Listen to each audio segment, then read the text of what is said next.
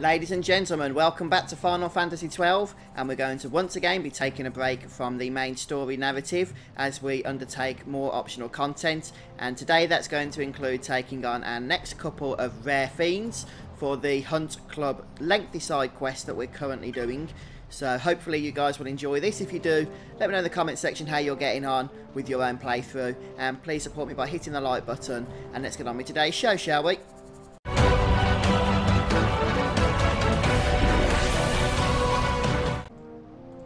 The first fiend, or mob, rare mob that we're going after, is a behemoth known as Alteci. And it's a level 41 or 42 enemy. So we're going to have to make our way over to the Zertinan caverns just up there. Which means the best thing you can do is teleport over to Jahara and then enter the Ozmone Plains as you've seen me do at this point. And there's various entrances into the Zertina caverns the and caverns, whatever they're called. But for the purposes of this particular enemy, this is the closest by far. So let's just get rid of these stupid gambits for stealing. That was from a previous video that I had these active for. In fact, a video that's not live yet. So it's a previous video from my point of view, but something you'll be seeing a little bit later on. Farming. Oh, the fun of farming items. Yeah, just wait for that. Right, so the area we're looking for is the undershore, and I believe it's this area here just above us. So we'll make our way there now. Probably a good idea to cast a float if you want to avoid the traps as usual, but can't really be bothered, quite frankly. Reverse, that's pretty mean, isn't it? Maybe we should cast float. Right, ah, okay, so here we go. So what we need to do, to slow things down a touch, in this particular area, is kill 12 of these Mallicants. And if we do that, we should be able to spawn the boss. Now we might have to make our way back out and back in to do so. Unlike the one that we had to kill 12 enemies in the Paramina Rift. We didn't have to exit that area to get him to spawn, but I think we do with this one for Alteci, the Behemoth.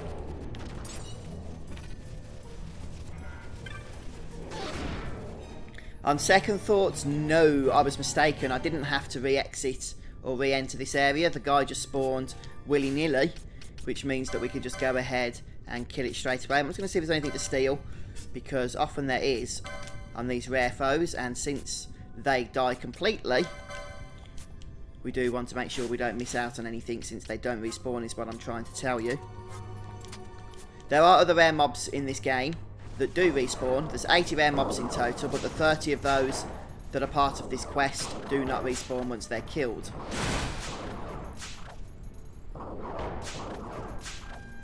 So Behemoth Steak is what you're going to get from this guy, if you can get a successful steal that is.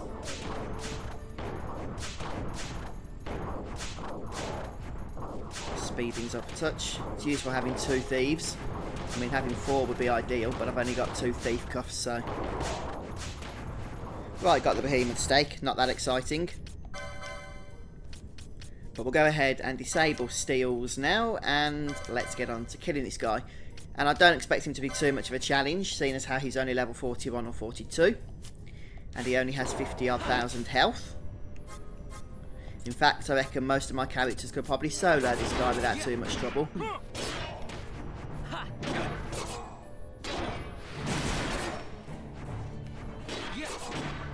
And there he goes. Alteci is defeated. And we get the Fel Trophy for our trouble for that one. So we just need to exit, go out the same way we came, which is the southern entrance, and go back to Teleport Stone in Jahara. Okay, the second enemy that we're going for, which is the Kaiser Wolf, is a little bit trickier to spawn, and we're going to have to do this by um, spawning another rare mob first, because it only spawns once you've killed a rare mob known as the Lindbur Wolf.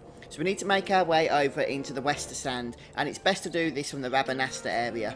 So we'll just head over to the West Gate using the Moogle fast travel system here. And what we need to do to get the first rare to spawn, which isn't the rare that's part of the quest, but as I say, the rare that we need to kill to get the rare that's part of the quest to spawn. is in the Westersand here, start killing wolves. We need to kill 20 of them.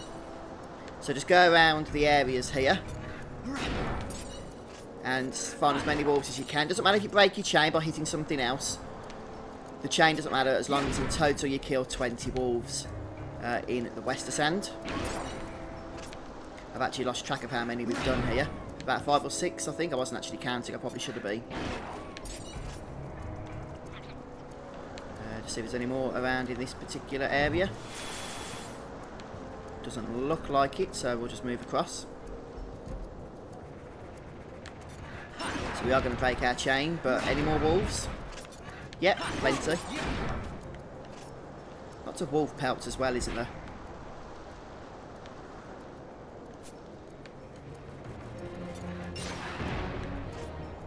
Okay. More wolves, lovely. And once you've killed 20 wolves, you want to head down into this little area here. I'll show you on the map. So that's the exit from, or the entrance from Rabanastre. And just down the southwest, you can find this entrance to the next area. And this is where there'll be a few more wolves in here as well. But you can also find the rare mob. And it's just over here, look. This is the first rare mob. Lindblum, I think its name is. You can also, I believe, steal a Gladius from it. If you wish to do so, that is. And this is an easy one, don't worry. And now, you have a 40% chance of finding the actual rare that you need in the area up here. I'll show you where that is. So you might have to exit and re-enter the area in order to get this guy to spawn. Let's just speed things up again. So it's the Kaiser Wolf that we're after. We head into the northern section called the Shimmering... Oh no, the Corridor of Sand, this one. I'll show you that, the Corridor of Sand is the name of the area. Then make our way around here. And it tends to spawn right on the eastern part of this section. So again, 40% chance of seeing it. It looks like it might have. There's a nice big wolf over there anyway, with Protect on it. So, as always, I recommend that you steal, if you can. So we'll go ahead and set some stealing gambits up on Vaan here.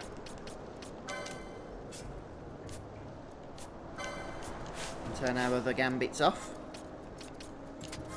So this guy is basically level 41 or 42 with around 19,000 health, so it's not going to last too long. And there we go, I've just gone ahead and stole the drop of Throat Wolf blood. How lovely. Turn all the gambits back on and we finish off very, very quickly. Even with Vaan stealing nothing. And for that we get the Fang Trophy. And we have another mark crossed off our list. So folks, I hope this episode has been somewhat helpful to you.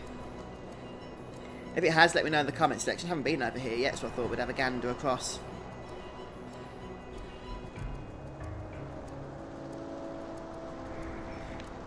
But do come back. Oh, we can't go any further, that's why. Uh, do come back and join me next time. We're going to continue on with uh, probably some more hunts, but also I'm going to show you how to farm for some magnificent items. So I've already got some episodes recorded in the way of that. I'm just not sure when they're getting uploaded yet. Uh, but I hope you've been enjoying this series. It's been a lot of fun to make so far. And I know we've still got a lot more to go, so a lot more to do. Uh, but thanks for joining me today, guys. I'll see you soon for more Zodiac Age.